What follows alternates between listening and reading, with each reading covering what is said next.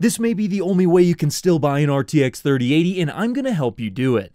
Let's talk about it. Before that, this video is brought to you by RGB Swap, a better alternative to eBay that I really think you should take a look at. RGB Swap is a marketplace exclusively for selling and buying computer parts that offers much lower fees than competitors such as eBay as well as greater protection against scams. Whether you're a buyer or a seller, you're guaranteed to be protected since all orders have to be paid for first and the funds are held for 48 hours after the buyer receives the item or they leave feedback, ensuring that you never get sold a bad item. Additionally, all disputes are manually reviewed and PayPal is used exclusively for an extra layer of security. I gotta tell you guys, I like this website a lot and I really want to take off as a better alternative to eBay, so please, if you're interested in buying or selling PC parts online, click the link in the description below and give it a shot. I think you'll really like it. Alright, so the RTX 3080 launched all the way back in September of 2020 and now we're coming into April of 2021, which means it's been nearly seven months since the initial release of the RTX 3080 and unfortunately, it's still incredibly difficult to get your hands on one. Now, if you take a look at, say, the RTX 3070 and the RTX 3090, I have noticed at least over the last couple of weeks here, it has been getting a little bit easier to get your hands on these cards. But, you know, either way, pretty much any type of RTX 30 series card and even any AMD card is still really, really difficult to get. So in this video, I'm going to go over the best ways you can try and get your hands on at least one of these cards because if you are looking at an RTX 3080, you may actually have to consider uh, potentially looking at, say, an RTX 3070 or maybe even an RTX 3090 if you're willing to spend that ridiculous amount on a GPU, as again, those cards are much easier to get your hands on uh, relative to the RTX 3080 anyway, as they are still really difficult to get. And then we're going to talk about the one sure way that you can get your hands on an RTX 3080 right now. But first, let's go ahead and talk about those best methods of trying to get your hands on at least some sort of RTX 30 series GPU, even if you can't get an RTX 3080. So uh, the best way if you are looking for, say, an RTX 3080, well, the first step you got to do is you're going to have to follow some sort of bot on Discord, and I do recommend the bot Brobot. Now, I've been following them for a little while here, and I've had the most success by following the Brobot bot. Uh, there will be a link in the description below. No, this video is not sponsored by them. I just do think that they actually are that good. I've had a lot better success using them than many other bots that I've ever used. So if you click that link in the description below, there will be a link right to their Discord. When you join their Discord, you're going to want to go ahead and click on which uh, video cards or processors that you're going to want to try and follow, as I know there's a lot of people who are also still trying to get, say, a 5950X or 5900X Ryzen processor as well, and they do track those. Uh, they track most of the major websites such as Amazon, Best Buy, uh, Newegg, and I believe they also track B&H Photo as well as AMD.com. So they do track most of those major websites, and I do find them to be very, very fast, and I have been seeing a lot more success lately over there. Uh, obviously, you're still going to be competing against a lot of different people who are on that server who get those notifications because what a bot like Brobot does is essentially looks on all these various different websites and then it sends you a link as soon as one pops up in stock, and then you have to go ahead and click that link and manually purchase it still. Uh, so that leads me on to step two, as since this isn't some sort of like auto purchasing bot, it's not going to do that for you. You are going to have to have all your purchasing information on hand, like ready to go right away. So make sure that you got whatever credit cards that you're going to be using, or if you're using PayPal, make sure that you're already logged into that. If you need to be, make sure that you're logged into Newegg as well as Best Buy, Amazon, all these different websites. Just be logged in already on your computer as well as your phone. Uh, make sure that you have your phone on you at all times because if you get that notification, you have to be fast. As you know, step one and two do help you quite a bit, but step three is really what seals the deal. And step three is you have to be fast. So, like, if you've got your phone on you and you get that notification, you got to like have your biometrics set up. So you just, you know, put your finger against your phone, it logs you in, and then you click the link, and then you go over to the link, you purchase it. And, you know, a lot of these websites, once you get something in your cart, it seems to give you at least a little bit of a grace period. So that should help you a little bit. I, I know not all websites work this way. In Amazon in particular, I would be a little skeptical when you get notifications from Amazon, as not only does it seem like they don't have any bot protection whatsoever, at least from what I can tell, since things uh, seem to go out of stock within like literally one or two seconds at Amazon, which is just absolutely ridiculous. But on top of that, you know, even if you do have the chance to buy something, and I've seen this before, uh, where there is like a 3060 or a 3070 just sitting there for like, you know, 10 minutes,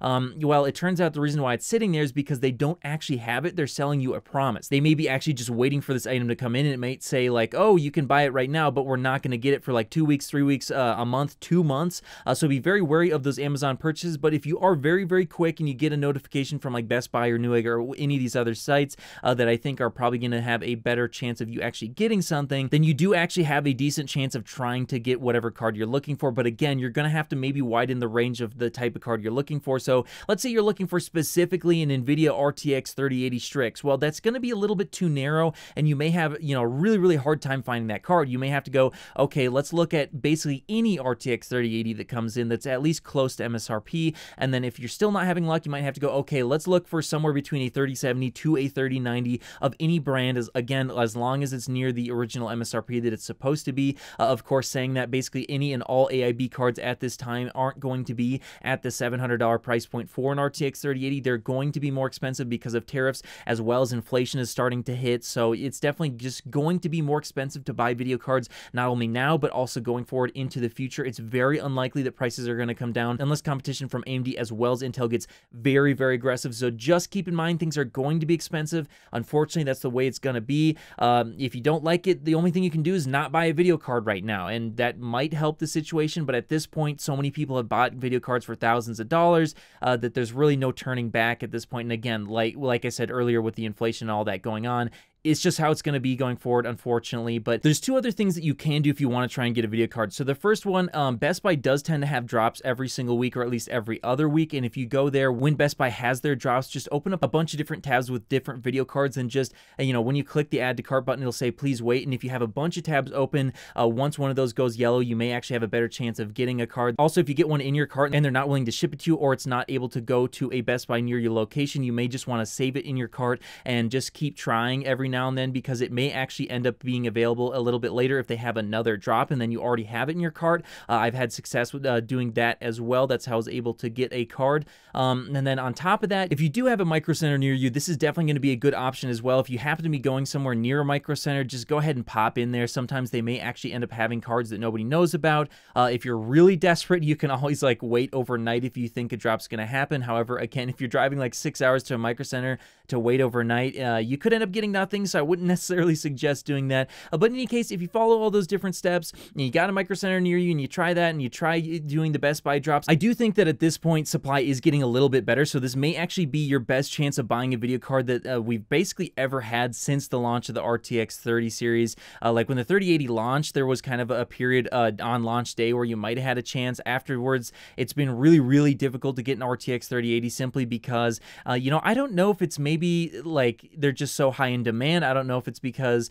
uh, most of the dies are going towards 3090s, or maybe it's even because a lot of these 3080s are being sold before they even hit retail to miners. That's something I don't really have the answer to, but either way, it just seems like it's really difficult to get them whatsoever. And again, you may have to look at maybe different brands or different cards altogether if you can't find that exact RTX 3080. Now, let's go ahead and talk about the one sure way that you can definitely get your hands on RTX 3080 right now. And some of you may not like this. However, this is basically the only way you're going to get it, and that's with a pre-built. So if you haven't built your computer yet and you're looking into building a computer, I would highly suggest looking at pre-builts as this is, again, going to be the only way you can actually guarantee to get one. I will have Amazon affiliate links in the description below to a bunch of different pre-builts, which if you do click that link and you end up purchasing anything off Amazon, uh, just as a disclaimer, I do get a small kickback, but um, if you do check those links, uh, I can't really keep up with how much supply they have, so uh, make sure that it actually is going to have good shipping times before you go ahead and purchase anything if you do decide to go with the pre-built route. Of course, there are other options than buying ones on Amazon. I think there's other ones that like Origin PC people have mentioned to me.